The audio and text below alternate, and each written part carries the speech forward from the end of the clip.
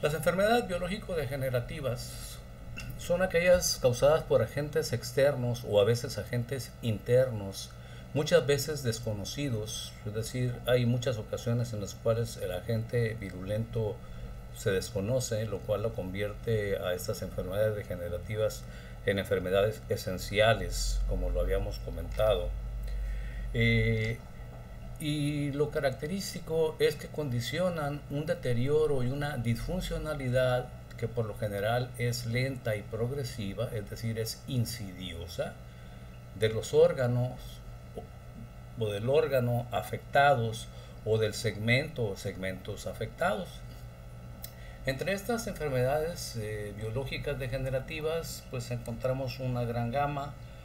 Hay algunas que se presentan en gente joven, pero lo más común es que este tipo de enfermedades degenerativas, decíamos, le vamos a quitar eh, para ahorrar tiempo el término de biológicas, ya sabemos que lo son.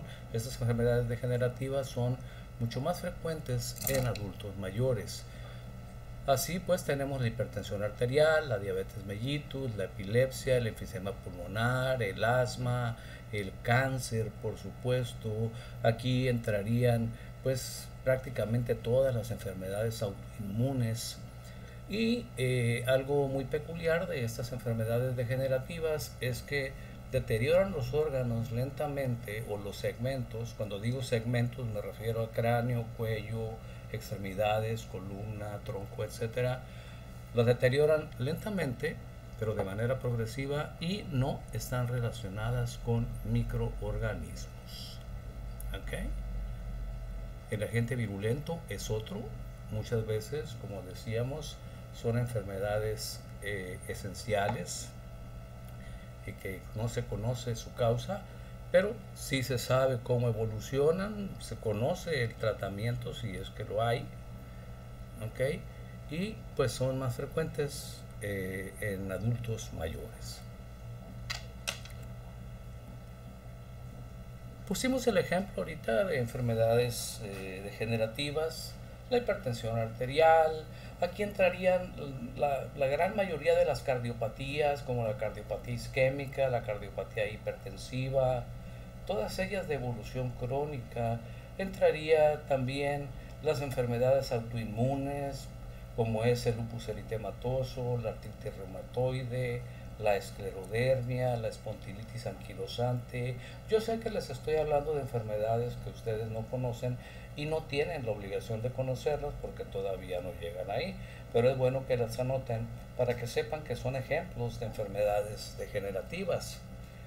Las nefropatías, es decir, las enfermedades crónicas del riñón, como la insuficiencia renal, las enfermedades oculares, como son las cataratas, como es la presbicia, cataratas, presbicia, son enfermedades degenerativas propias del adulto mayor, la osteoartritis, en fin, hay una gran cantidad de enfermedades de esta índole y no es que sean privativas, no es que sean selectivas del adulto mayor, pero sí se presentan mucho más en el adulto mayor, eh, muchas veces como parte del mismo envejecimiento que va deteriorando los órganos. Sin embargo, hay enfermedades degenerativas que se presentan en gente joven también. ¿Okay? Como el lupus eritematoso que les mencionaba ahorita, es una enfermedad degenerativa que se puede presentar, de hecho se presenta con mucha frecuencia en gente joven. Pero bueno, ya dijimos, estas enfermedades degenerativas van deteriorando poco a poco los órganos. Puede que se conozca el agente virulento o no, si no se conoce, diremos que es una enfermedad esencial. Eh, si se conoce, pues mencionaremos al agente virulento o agente eficiente. Es muy común que haya agentes predisponentes en estos casos, como lo vamos a ver, principalmente agentes predisponentes o factores de riesgo como es la herencia. Y algunas de estas enfermedades terminan siendo mortales o terminan siendo eh, pues totalmente discapacitantes, como la enfermedad de Parkinson, por ejemplo. Pero en general, ¿cuáles son las características de estas enfermedades degenerativas dentro del universo de las enfermedades biológicas? Bueno, decíamos, número uno, su evolución suele ser crónica. Es decir, la enfermedad tarda mucho tiempo en evolucionar, tarda mucho tiempo, tarda mucho más de seis semanas en resolverse de la manera que se vaya a resolver. Que al final de esta presentación veremos cómo es que las enfermedades se pueden resolver o cuáles son los caminos a través de los cuales se resuelven las enfermedades. La mayoría de estas enfermedades son incurables, pero son controlables. Es decir, eh, tenemos que entender la diferencia que hay entre curación y alivio. No es lo mismo. Cuando tú dices que curas a una persona es porque le quitaste la enfermedad, le quitaste el agente virulento, puede o no quedar con secuelas, pero ya no tiene efectos activos del agente virulento. Ya no tiene sintomatología, entonces ahí decimos que curamos al, enfermo. Aliviarlo es simplemente quitarle la sintomatología. Cuando nosotros le damos alivio a una persona es porque le quitamos la sintomatología, pero no le quitamos la enfermedad. La enfermedad sigue ahí, latente o activa, la enfermedad sigue ahí y lo único que estamos haciendo es hacer menos pesada la enfermedad, quitando la sintomatología, pero no la estamos curando. Entonces la mayoría de estas enfermedades, como la diabetes, la artritis reumatoide, el lupus, la hipertensión arterial, algunas cardiopatías, son incurables, pero son controlables, es decir, podemos mantener al paciente sin manifestaciones clínicas durante periodos más o menos prolongados. Punto número 3. No son contagiosas. No se transmiten de una persona a otra, ni se transmiten por vectores, ni por fumites, ni por contacto directo. No hay una vía de transmisión de este tipo entre persona y persona. Lo que sí, y es el cuarto punto, suelen tener un importante patrón genético. Es decir, el simple hecho de que tengamos familiares y entre más cercanos sean nuestros familiares, consanguinamente hablando, eh, peor será el caso, el simple hecho de tener familiares con enfermedades degenerativas nos vuelve a nosotros predispuestos, es un factor de riesgo para nosotros eh, para padecer esas enfermedades. Es decir, el hecho de que yo tenga familiares cercanos, hipertensos o cardiópatas o nefrópatas o con cáncer o diabéticos, no necesariamente quiere decir que me va a dar a mí la enfermedad, pero estadísticamente sí se ha visto que hay una mayor predisposición a presentar la enfermedad que en aquellas personas que no tienen ese antecedente. Espero ser claro en este aspecto. Entonces, pues, las enfermedades degenerativas suelen ser crónicas, prácticamente todas son crónicas. La mayoría son incurables, pero son controlables. No son contagiosas ni por contacto directo, ni por fomites, ni por vectores, ni por eh, contacto sexual. Y lo que sí, suele tener un importante patrón genético. Enfermedades degenerativas que, insisto, son más frecuentes en adultos mayores y ya vimos varios ejemplos de ellas. Las enfermedades psicógenas. Algunos autores consideran las enfermedades psicógenas como un grupo aparte, pero la mayoría de los autores eh, las consideran como parte de las enfermedades biológicas y creo yo que es lo más correcto porque esas enfermedades psicógenas están relacionadas principalmente con alteraciones bioquímicas en los neurotransmisores a nivel del sistema nervioso central, ya sea a nivel del sistema límbico.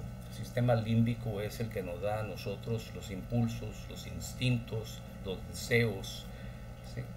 Eh, y esto hace que nuestro estado de ánimo cambie Así pues, eh, estas enfermedades psicógenas son consideradas también como biológicas y las podemos definir como aquellas enfermedades causadas generalmente por trastornos bioquímicos o emocionales que repercuten en el talante, en la percepción y o en la conducta del paciente. Cuando hablamos de trastornos bioquímicos estamos hablando principalmente de neurotransmisores como es la serotonina, como es el, ácido gamma aminobutírico, como es la norepinefrina, etc. ¿Puede traer esto trastornos emocionales? Claro que los trae porque estos neurotransmisores pues son los encargados de mantener nuestras emociones estables. Y como dice aquí, repercuten en el talante. ¿Qué es el talante? El talante es el estado de ánimo, el humor. Cuando ustedes dicen, y llegó el maestro y viene de mal talante, pues, quiere decir que viene de malas. Así llego yo y ¿saben qué? Este, hoy no va a haber clase porque vengo de muy buen talante. Ah, toda madre, bueno, vengo de muy buen humor. Entonces, estas alteraciones bioquímicas repercuten en lo emocional y por supuesto repercuten en el estado de ánimo. Y al repercutir en el estado de ánimo puede repercutir también en la percepción de los estímulos internos o externos que tenga esta persona y desde luego en su conducta.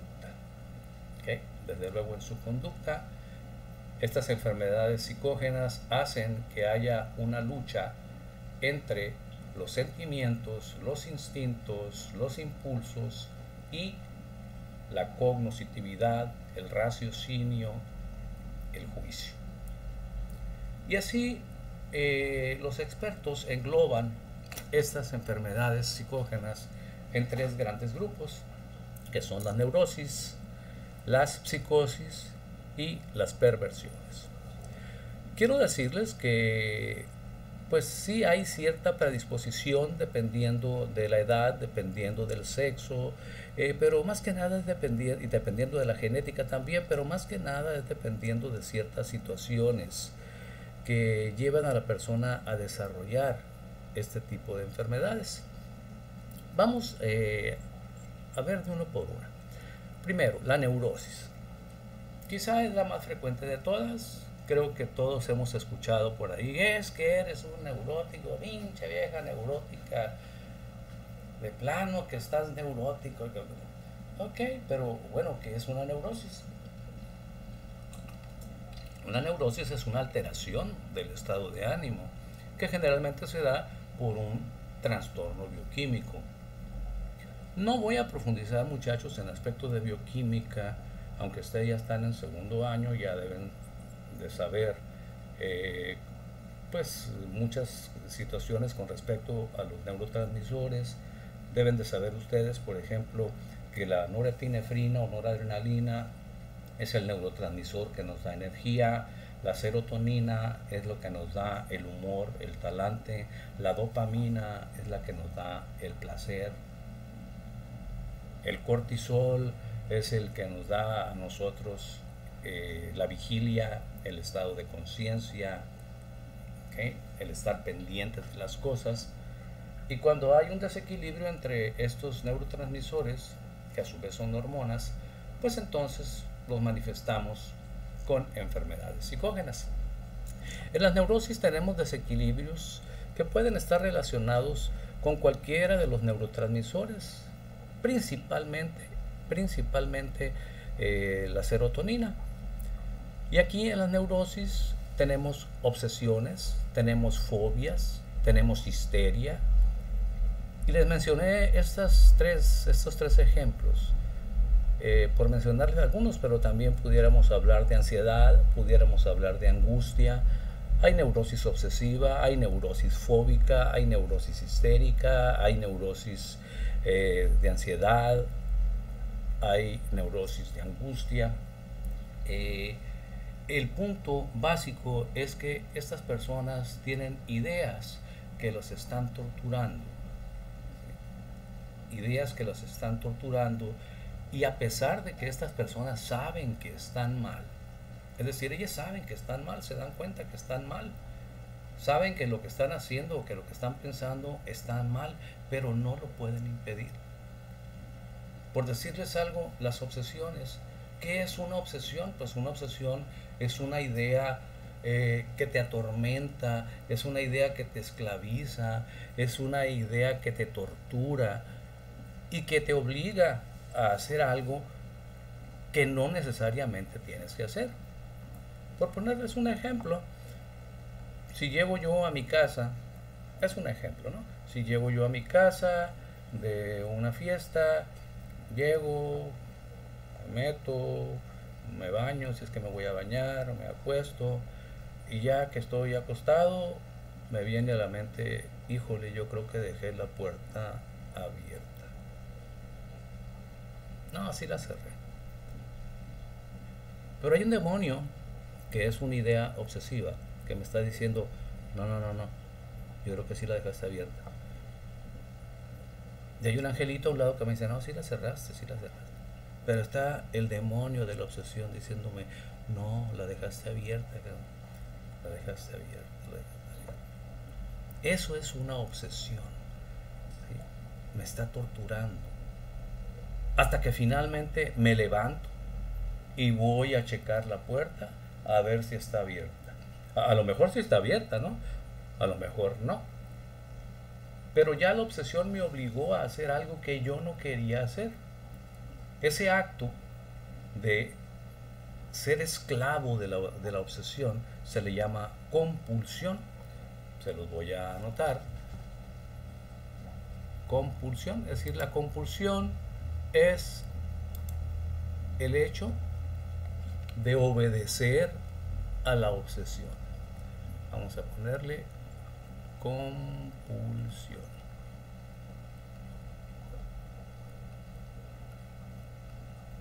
Y no me digan que no les ha pasado, ¿eh? Esto es, que se me por supuesto, esto es muy frecuente. El problema es cuando se vuelve repetitivo. Este es M, nunca hay N antes de P. Las obsesiones nos llevan a las compulsiones. Las fobias, ¿qué son las fobias? Las fobias son repulsiones, miedos, terrores, eh, fundados o infundados, pero incontrolables hacia algo o hacia alguien. Fobia, terror. El hecho de que estés cerca de algo o de alguien o que estés en determinada situación te produce ansiedad, empiezas a sudar, te taquicardizas, entras en pánico. Eso es una fobia. Y también está relacionada con los neurotransmisores. Es una neurosis también. Y aquí dentro de las fobias hay un como 40 mil. ¿sí? Pero desde luego las más comunes son la claustrofobia. La claustrofobia pues es el miedo, el pánico a los espacios cerrados como los elevadores, por ejemplo, o un cuarto pequeño, una celda, por ejemplo. Imagínense un claustrofóbico que lo metan al bote de muere. Está la agorafobia.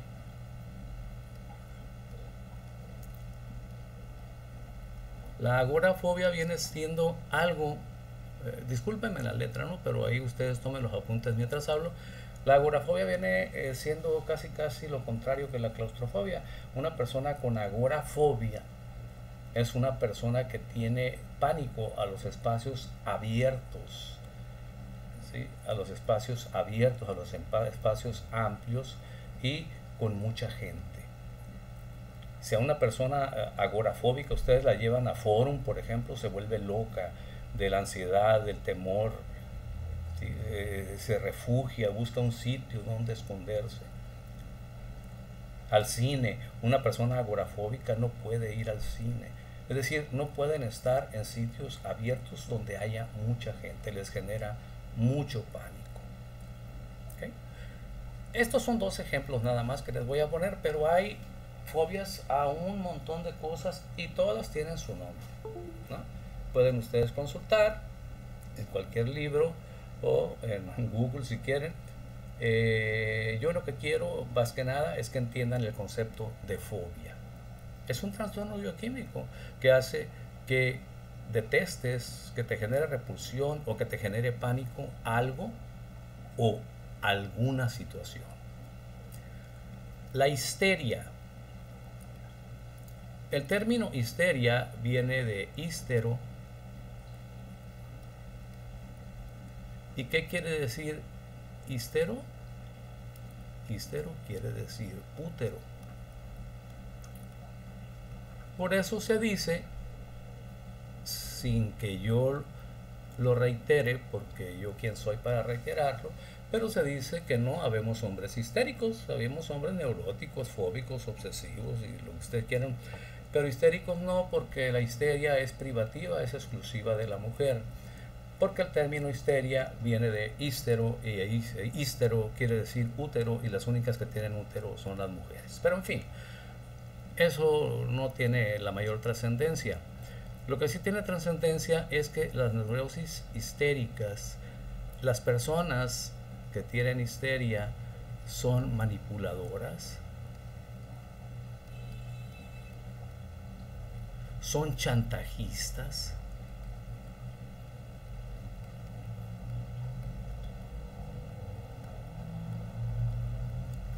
las personas histéricas son excelentes para manejar el chantaje emocional, sobre todo con los amigos o con la pareja. ¿Ok? Manejan a la perfección el chantaje emocional, es decir, ejercen la manipulación, fingen, son muy buenas para fingir, sobre todo cuando se ven acorraladas estas personas con neurosis histéricas, cuando se ven acorraladas y se dan cuenta que, pues que no tienen manera de sostener que tienen la razón, se desmayan. Se desmayan. Y ya el hecho de que se desmayen, pues ya genera que se asuste la otra persona y, y ya después viene el chantaje emocional. Seguramente a ustedes les ha tocado que les platiquen o vivir algo semejante. Todo esto, muchachos, está relacionado con alteraciones en los neurotransmisores, pero, insisto, la característica básica de las personas con neurosis es que saben que están mal, pero no lo aceptan. No lo aceptan. Y muchas veces no hacen nada para remediarlo. Bien. Esas son las neurosis. Las neurosis, un buen psiquiatra las puede manejar perfectamente y por supuesto que son curables. Vamos ahora con las psicosis. Las psicosis son enfermedades eh, pues más severas desde el punto de vista psicológico que se caracterizan por varias cosas, pero lo principal es la presencia de alucinaciones, y la presencia de delirios. El psicótico genera su propio mundo, su propio mundo, se sale de la realidad.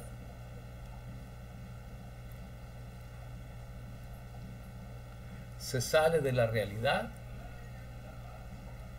escucha, ve cosas que nadie más escucha ni ve.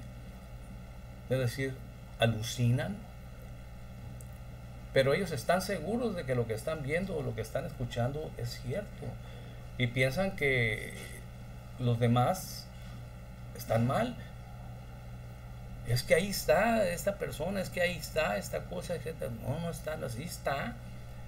Es que esa voz me dice que eso, pero ¿cuál voz? Pues que no la oíste. No, no, no nadie lo oyó más que tú. Ah, pues están sordos. O sea, eh, se encierran en su mundo, alucinan, es decir, perciben estímulos que no existen, que pueden ser estímulos auditivos, estímulos visuales o incluso estímulos táctiles, gustativos u olfatorios.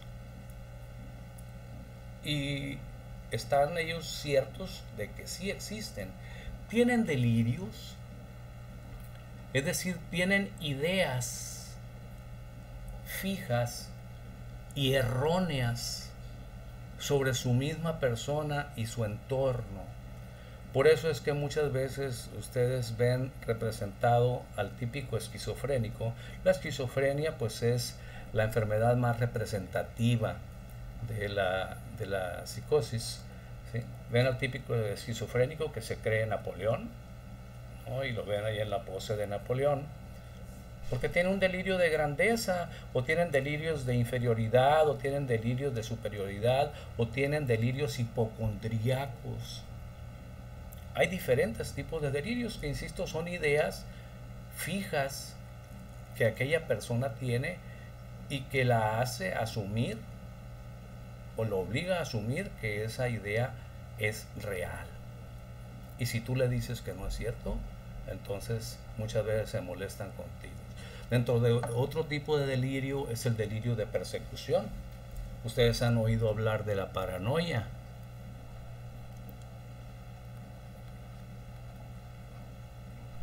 Una persona paranoica es una persona que tiene delirio de persecución, que siente que lo siguen, que sienten que hablan de él, que siente que le quieren hacer daño y nadie lo pela, ¿no? Es decir, no hay ningún motivo para que se sienta así, pero así se siente.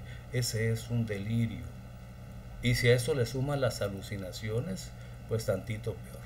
Entonces, los psicóticos son personas que viven su propio mundo, que crean su propio mundo. ¿Ok? Aquí algunos, eh, algunos psiquiatras incluyen también a los niños autistas los niños autistas. ¿Por qué? Porque ellos crean su propio mundo también. Sin embargo, fíjense que estoy diciendo algunos autores. No es una cosa que esté definitivamente escrita, ni plasmada, ni comprobada. Pero lo que sí está comprobado es que estas enfermedades mentales llamadas psicosis son padecimientos en donde el paciente genera su propio mundo, tiene delirios, tiene alucinaciones, y pues pudiéramos poner aquí que la más representativa, como dijimos ahorita, es la esquizofrenia. La voy a anotar por acá porque aquí ya no cabe.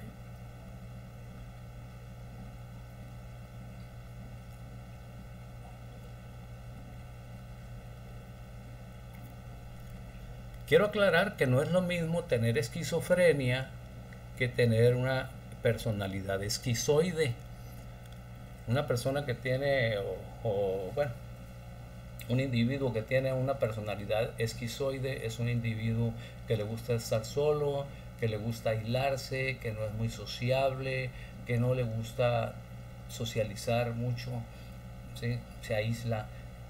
Esa es una personalidad esquizoide, pero no necesariamente quiere decir que sea un psicótico. Esquizofrenia ya es otra cosa, ¿no? Porque eh, frenia significa mente, pensamiento.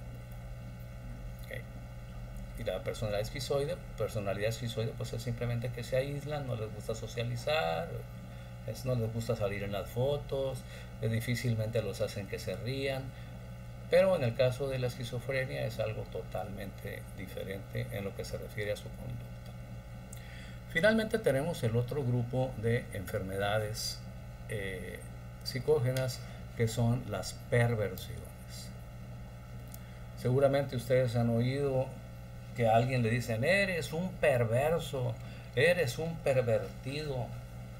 Es lo mismo, ¿no? Si ustedes le dicen a alguien perverso o pervertido, es lo mismo. Si nos vamos a la gramática, pues es la, con, la conjugación del el pasado participio del verbo pervertir pervertido, perverso, es básicamente lo mismo. Bueno, pero ¿qué son las perversiones? Las perversiones son alteraciones principalmente en los instintos, principalmente en los instintos. Nosotros tenemos cuatro instintos básicos y cuando digo nosotros me estoy refiriendo al ser humano. Bueno, me estoy refiriendo a los seres vivos, porque eso también eh, aplica en los animales. Pero como nos estamos refiriendo a personas, tenemos cuatro instintos básicos. Número uno, el instinto de alimentación. Desde que nacemos, nacemos buscando un pezón para alimentarnos. El instinto de nutrición o de alimentación. Por eso nos da hambre. El hipotálamo regula eso. Tenemos el instinto de supervivencia. El instinto de supervivencia. Por eso nos defendemos o corremos. Ahí en el instinto de supervivencia, pues ahí podemos encontrar nosotros el miedo, el terror, la ira, entre otras cosas. Son maneras de, manifestarse, son formas de manifestarte ese instinto de supervivencia o de conservación, como le quieran llamar ustedes. Tenemos otro instinto muy importante que es el instinto de pertenencia. El instinto de pertenencia se refiere al deseo de tener cosas, de tener cosas. Hay personas que coleccionan, que coleccionan estampillas, coleccionan navajas, coleccionan monedas, coleccionan, coleccionan lo que ustedes eh, quieran imaginar, eh, que desean tener esto, que desean tener aquello otro. Dentro del instinto de pertenencia, por supuesto, ahí tenemos algunas expresiones en el instinto de pertenencia, como es la envidia, como es la codicia. Son manifestaciones de, los instintos, en este caso del instinto de pertenencia. ¿Quieren que les mencione otra manifestación muy común del instinto de pertenencia? Los celos. Es mía o es mío y nadie me lo va a quitar y si no es mía, no es de nadie. Eso se llaman celos, celotipias y son parte del instinto de pertenencia. Y por último tenemos el instinto sexual.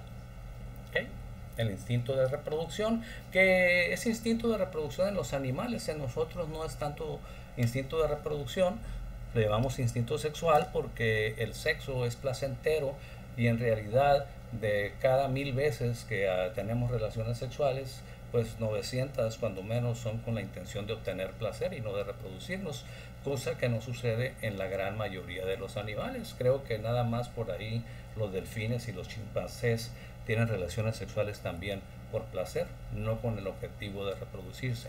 Pero en fin, en las perversiones hay aberraciones, hay alteraciones de estos instintos, principalmente del instinto sexual. Y nosotros decimos que una persona es perversa cuando le genera placer el hacer el mal. ¿Sí? Le genera placer, le genera satisfacción el hacer el mal. Matar, robar, lastimar. Esa es una perversión. Que te genere satisfacción el saber que a una persona le fue mal o se murió, o tú hacerle el mal o tú matarla. Y desde luego, eh, también le llamamos perversiones a todas aquellas eh, aberraciones o a, todas aquellas desviaciones, por llamarlas de alguna manera, eh, de los instintos, principalmente del instinto sexual. Y aquí que quede claro, no me estoy metiendo con el L, el L, G, B, B, T, Q, Z, H, I, no. Me estoy metiendo con, o estoy hablando básicamente de las perversiones relacionadas con las parafilias, por ejemplo, los pederastas que tienen relaciones sexuales con niños, ¿okay? las, la, la bestialidad o el bestialismo que tienen relaciones sexuales con animales, la necrofilia que tiene relaciones sexuales con cadáveres, esas son perversiones. ¿Ok? Esas son perversiones. Ok. Bien, entonces estas son las enfermedades biológico-psicógenas relacionadas mucho con alteraciones bioquímicas, alteraciones en los neurotransmisores que repercuten en nuestros instintos, en nuestros sentimientos, en nuestro talante y desde luego en nuestra conducta. Yo estoy seguro que en la clase que tengamos grupal va a haber bastantes preguntas a este respecto y yo se los voy a contestar con mucho gusto. Bien, hasta aquí dejamos este video. Ya casi terminamos con las enfermedades biológicas y seguiremos en el próximo video.